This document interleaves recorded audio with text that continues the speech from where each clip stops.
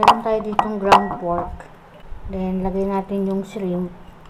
1 half tablespoon ng soy sauce.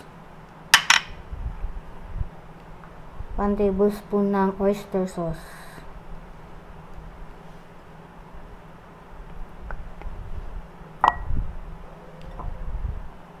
One fourth teaspoon salt. One fourth na teaspoon ng white pepper.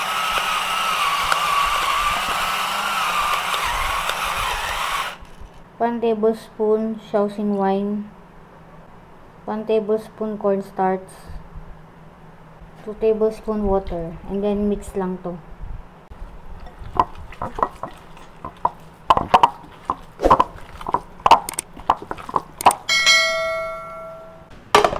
So, lagay tayo ng baking powder para pampabawas yan ng pakla ng gulay at saka para ma-retain yung color niya. Then, lagay tayo ng hot water. Iba-blanch lang natin to sandali.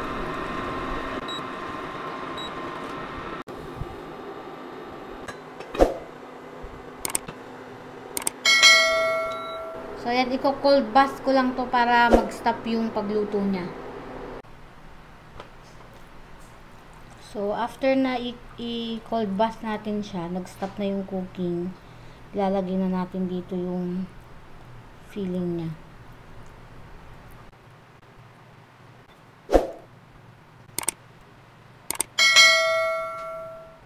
Lagay tayo ng oil. So, pa-fry na natin to.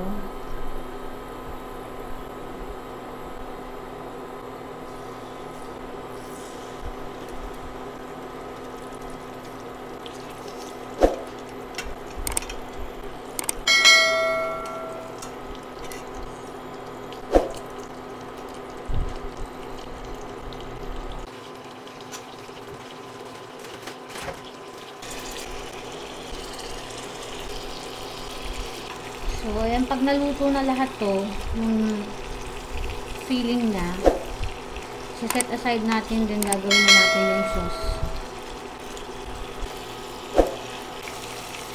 So, lagay na tayo ng ginger, garlic,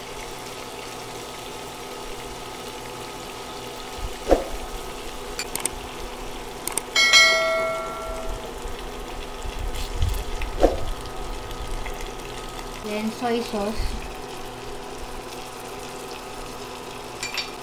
Oyster sauce.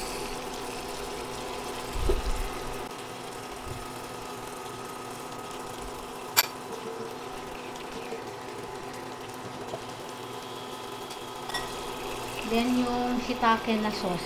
Shiitake mushroom. Kahit wala to, okay lang naman.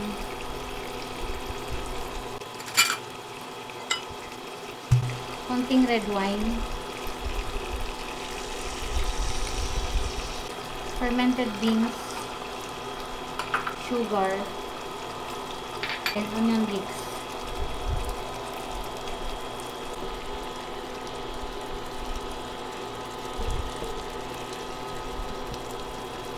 A little water. Then, ibabalik na natin yung, yung palaya.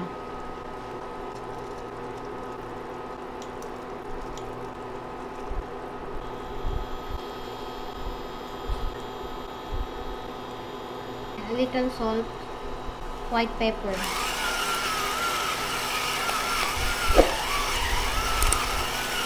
And more leeks.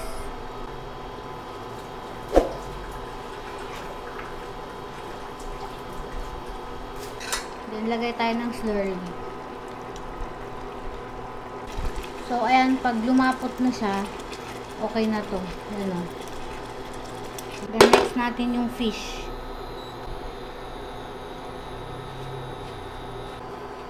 So, since may sauce naman na yung palaya, salt and pepper na lang to.